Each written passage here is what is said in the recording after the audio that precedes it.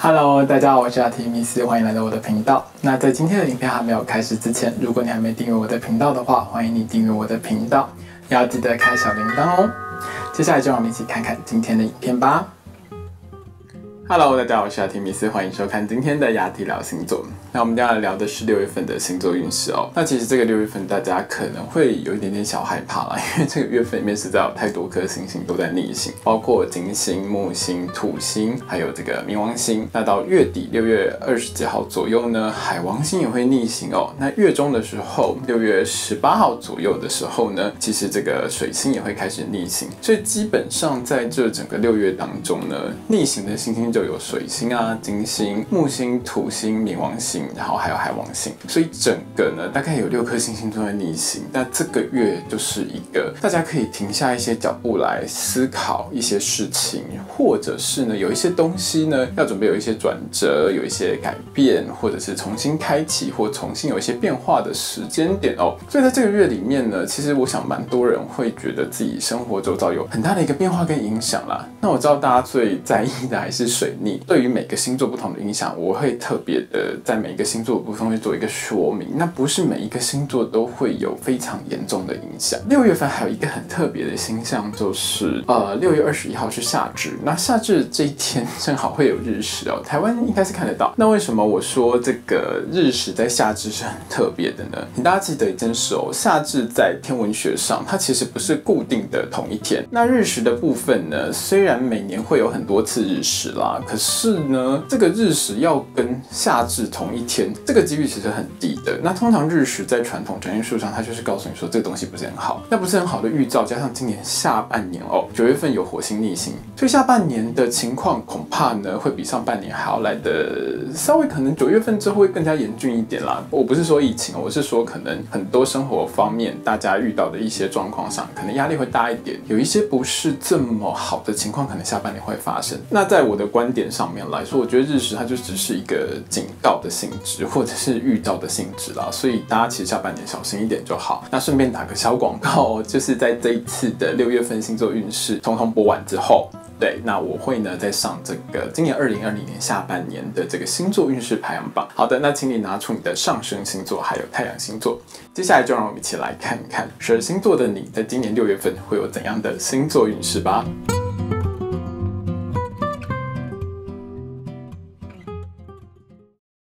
今天呢，我们要来看到的星座是上升太阳在天蝎座的朋友们在二零二零年的六月份的星座运势。首先呢，我们要来看到的是职场还有工作运的部分哦。在六月二号到六月十二号这段时间当中呢，上班族的天蝎座朋友们，你们比较容易遇到呢，客户还蛮照顾你，让你感觉到呢，在工作上呢是非常顺利的一段时间哦。那特别是如果你是做销售啊，或是业务相关工作的话呢，天蝎座的你呢，还蛮容易遇到愿意和你签大订单的这个客户哦。因为呢，你的业绩还蛮。蛮好的啦，所以老板其实还蛮肯定你的一个工作成绩哦。那如果说呢，天蝎座的你呢是这个求职或者是想要在这段时间去面试的话，要记得好好把握，因为这段时间的你运气还蛮棒的，就是求职方面的运气啦。那特别是你很容易遇到对你很好、很看重你、很喜欢你的这个面试官。那在这个面试官前面呢，你只要好好的表现的话，很容易呢就可以录取这一份好工作哦。而在六月十四号到六月二十六号这段时间当中呢，如果你的工作是做记者的话，哇，还蛮容易挖到一些大新闻的哦，就多努力一点。好，那有一些如果说是做这个公众人物、政治人物、艺人或网红的话，特别是这个演员呐、歌手，还有这个比如说 YouTube 之类的哦，你所推出的作品呢是会受到很多人喜欢的哦，所以呢，在人气很旺的情况下呢，事业当然就是水涨船高，越来越顺利喽。接下来呢是金钱还有财运的部分。那对于天蝎座的朋友们来说，在六月二十号到六月三十号这段时间当中是一段黄金期，你要好好把握。如果你有做任何跟不动产相关的投资，或是一般的投资理财也 OK 啦。在这段时间当中呢，只要是做投资相关的买卖的话，都还蛮容易赚到不少的钱哦。所以如果你原本就有计划在这段时间呢做一个不动产的买卖，或者是呢做一些理财投资上面的一个进出的话，其实都会是一个很棒的时间点。那好好把握。的话会赚更多钱哦。那在六月一号到六月十九号这段时间呢，对于很多天蝎座的朋友们来说是需要特别小心的时间点哦。第一就是这段时间当中你的赌博运不是很好啦，所以建议在这段时间就是尽量不要赌博。第二就是如果你有在做理财投资的话，太过高风险的一些商品或是一些标的。你如果要投资的话，要多想一下哦，考虑清楚哦，这不是一个太好的投资时间点呐。那另外就是说呢，有一些天蝎座的朋友们在这段时间里面是比较容易遇上诈骗集团的，所以在这段时间里面呢，如果能够提高警觉的话，就能减少被诈骗的机会哦。接下来呢是学业好考试的部分。那对于天蝎座的同学们来说，六月二号到六月十二号之间呢，是一个很棒的时间点哦。对你来说，这段时间就是大考的考运是非常的好。那有一些天蝎座的同学们呢，在这段时间当中，除了考运很棒之外，你的外语能力也是非常的好的。学习外国语言这一块方面上呢，也是比别人更有这个天分。然后速度也是更快的哦。那有些天蝎座的同学们在这段时间当中，可能还是要忙一些论文啊，或者是一些制作啊，或者是一些研究之类的哦。那这段时间当中呢，你的进度是会非常的好的，因为你在做这些东西上面呢，非常的有效率哦。好好把握这段时间呢，就能够很顺利、更快速的把你想要做的这些计划都完成哦。而在六月十八号到七月十二号这一段时间当中，因为水星逆行的影响啊，所以对于天蝎座的同学们来说，你在这段时间当中，如果刚好遇到大考的话，是属于考运比较不是那么的好的哦。所以呢，天蝎座的你呢，如果在这段时间当中需要去一些大型的考试的话呢，要记得出门之前呢，该带的东西都要带好，前一天要稍微检查一下。那早点起床哦，你大概只要稳定住你的心情，就可以好好的发挥你的实力去考试，一些问题都可以顺利得到解决。天蝎座的同学们呢，如果在这段时间正好遇上大考的话呢，真的也不要太紧张了，随心逆行是可以克服的哦。但是之前的一些准备动作啊，还有维持心情上面。就要靠你自己多努力，加油喽！接下来呢是桃花运的部分。那桃花运这一块，基本上是很多天蝎座在这个月里面的一个人生重点之一哦。那当然，因为这个月很多颗星在逆行，包括金星嘛，那对于天蝎座的影响相对来说也是比较大一点的哦。那因为呢，在这个月里面呢，好坏桃花出现比例大概是一半一半嘛。那该怎么选择出好的对象，跟剔除掉不良的对象呢？就是很多天蝎座的朋友们在这个月里面很重要的人生课题哦。在六月七号到六月二十一号之间呢，这段时间当中呢，会出现一些条件还蛮不错。而且主动想要跟你做朋友，甚至于是有点勾引你的这个还蛮不错的对象啦。所以对于天蝎座的朋友们来说，在这段时间当中呢，你可以好好的选择一下，看一下有哪些人呢是真心喜欢你的哦。那多多认识，多多了解一下吧。而在六月十四号到六月二十六号这段时间当中，对于天蝎座的朋友们而言呢，是你只要主动出击，就还蛮容易可以和你喜欢的对象呢有很好互动的一段时间。所以如果你已经看准了某个对象，想要跟那个对象有一些更多的互动跟。了解的话呢，就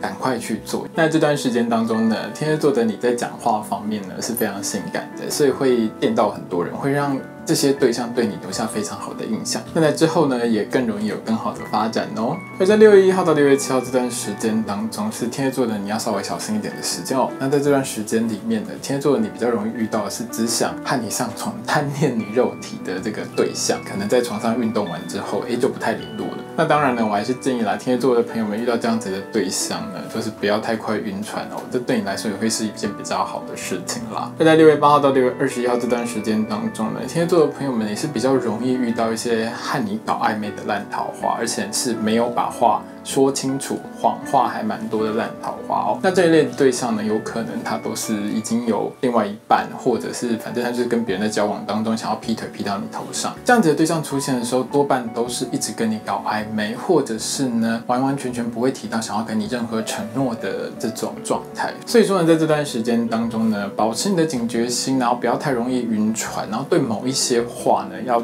提高警觉，或是保持怀疑，都是在这段时间当中还蛮重要。的事情哦，天蝎座的你呢，还是小心谨慎一点会比较好哦。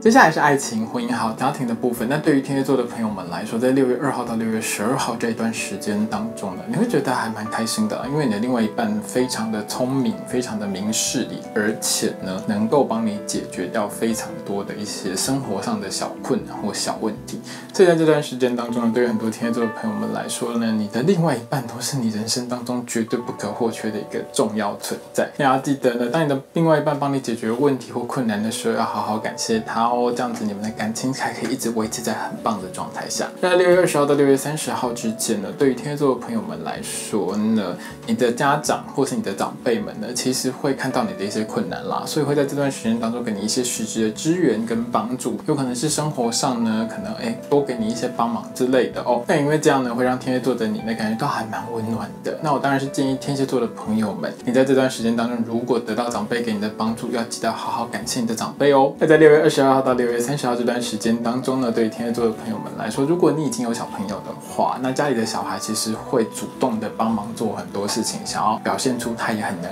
干，希望呢他可以多帮爸爸妈妈一些忙哦，非常贴心，所以会让你相当的开心哦。接下来是身体健康还有交通安全的部分。在六月一号到六月七号这段时间当中呢，对于天蝎座的朋友们来说，如果说啦你是常常去更换上床对象的话，那这段时间当中要记得做好保护措施哦，因为这段时间的你呢是比较容易感染性病的。那做好保护措施的话，就比较不会有这种问题发生。那在六月八号到六月二十一号这段时间当中呢，有一些天蝎座的朋友们是可能在血压或者心血管方面觉得比较不是那么的舒服。如果说呢你有有很明显，像胸闷、很不舒服啊、头痛之类的，然后你自己平常可能有在量血压，又觉得自己血压飙高的话，那当然就是尽快去看医生，遵守医生的指示哦。那尽快把病给医好。另外呢，有一些天蝎座的朋友们可能是泌尿系统不太舒服，因为有些人可能会憋尿之类的，所以在这段时间当中，如果说泌尿系统不舒服的话，也是尽快去找医生帮你诊治一下，不要害羞哦。今天的影片呢就到这边结束了。如果你喜欢这支影片的话，欢迎你订阅我的频道，也要记得开小铃铛哦。也非常欢迎你呢在底下留言和我聊聊有关星座相关的话题。那当然呢，也非常欢迎你把这支影片分享给你喜欢星座的朋友。我是阿提米斯，我们下次见，拜拜。